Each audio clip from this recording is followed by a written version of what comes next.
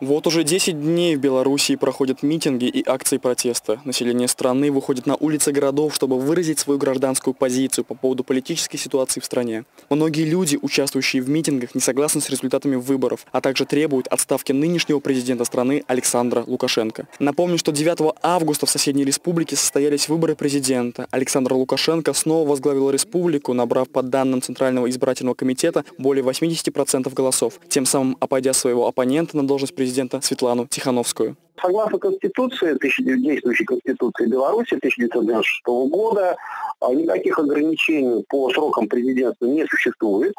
И на основании, соответственно, данной Конституции действующий президент Беларуси Лукашенко, он имеет э, право э, баллотироваться на президентский срок неограниченное количество раз. Акции протеста проходят во многих крупных городах страны – в Минске, в Барановичах, Бресте, Витебске, Гродно, Жлобне и других. Со стороны оппозиции протестующие требуют отставки Лукашенко, возврата Конституции 1994 года, а также признания выборов 2020 года недействительными. В свою очередь, правительство страны подключило к разгону митингов множество силовых структур – ОМОН, милицию, КГБ, МВД, вооруженные силы и другие подразделения. По последним официальным данным МВД, число задержанных во время шествия достигло 7 тысяч человек. Вот, вот такая сложная ситуация возникла на данный период времени. Ну и вот э, самое, наверное, сложное для э, действующей власти Беларуси, это то, что действительно э, на улице э, Беларуси вышли э, протестующие. Вот их количество точное ну, установить, наверное, можно только будучи очевидцем этих событий. Вот. Опять же, по данным оппозиции, по, по, по, по, по точки зрения западных информационных агентств а погибших гораздо больше, и арестованных тоже несколько десятков тысяч. Только митингами на улицах дело не закончилось. К протестующим присоединились многие промышленные предприятия, такие как Минский завод колесных тягачей, Белорусский автомобильный завод, Минский тракторный завод и другие. Одной из наиболее важных экономических фигур стал Беларусь Скалий, крупнейший производитель удобрений в мире. Его сотрудники тоже присоединились к забастовке. По словам экспертов КФУ, остановка производства в стране может плохо сказаться на ситуации с экономикой в стране и в мире в целом. Экономика Беларуси э, достаточно сильно интегрирована с экономикой России. Белорусские предприятия потребляют э, продукцию, производимую российскими компаниями, и в свою очередь э, поставляют очень много продукции, производимой там, на территорию России. Конечно же, остановка или приостановка деятельности белорусских предприятий это довольно негативно отразится на России. За ситуацией в Беларуси наблюдает весь мир. Многие европейские страны ближнего зарубежья, такие как Польша, Литва, Латвия, страны Прибалтики, Франция и Германия, все они согласились с тем, что выборы были неправильными и нужно провести повторное голосование. В свою очередь президент Российской Федерации Владимир Путин поздравил Александра Лукашенко с переизбранием на новый срок.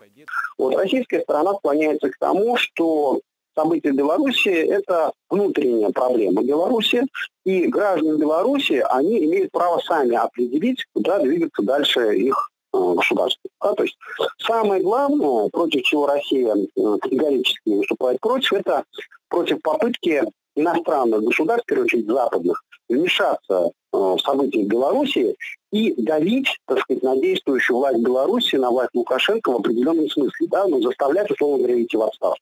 Ситуацию в стране активно обсуждают в интернете. Множество граждан России поддерживают митинги. Выражают свою позицию пользователи в Инстаграме, ВКонтакте и других социальных сетях. Простым пользователям присоединяются и медийные личности. Так, например, популярный исполнитель Noise MC выразил свое мнение, полностью поддержав протестующих. Я, я поддерживаю протестующих, ну, потому что 26 лет это очень долгий срок, и поведение э, главы э, Беларуси в этой ситуации не выдерживает никакой критики. Свою позицию также выразил шоумен и уроженец Беларуси Вадим Галегин. В своем видеообращении он призывает остановить кровопролитие. Прежде всего хотел бы обратиться к представителям силовых структур, как офицер, как человек, принимавший присягу. Пожалуйста, остановите кровопролитие, прекратите насилие над собственным народом. Однако не все жители Беларуси выходят на митинги в поддержку оппозиции. Совсем недавно в Гомеле и Могилеве прошли акции в поддержку действующей власти нынешнего президента Лукашенко. Участники шествий прошлись по центральным улицам городов, держа в руках государственные флаги. Я боится, что из нас сделают полигон для Пентагона. Мы этого не хотим.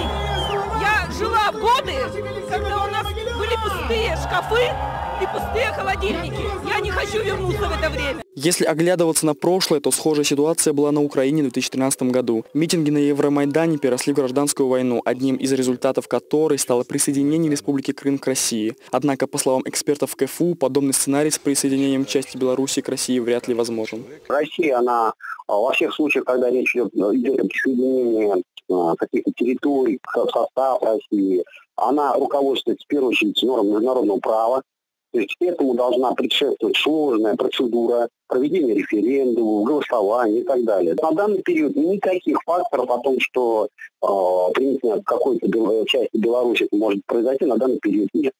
Пока что митинги не прекращаются и ситуация в стране остается прежней. По словам экспертов, ситуация может нормализоваться только если обе стороны, как правительство, так и оппозиция, пойдут на компромисс. Но вот пока, еще раз говорю, на данный период времени стадия находится данная проблема находится в стадии динамичного развития, мы не можем точно определить, какова ее все-таки э, существо. Нужен, нужен небольшой еще промежуток времени, чтобы понять все-таки, а, что, какие масштабы приобретают события в Беларуси. Пока что неизвестно, сколько времени в стране будут продолжаться подобные события. Однако хочется верить, что в ближайшее время ситуация нормализуется и братский народ снова заживет в мире и согласии. Лев Диденко, Univer News.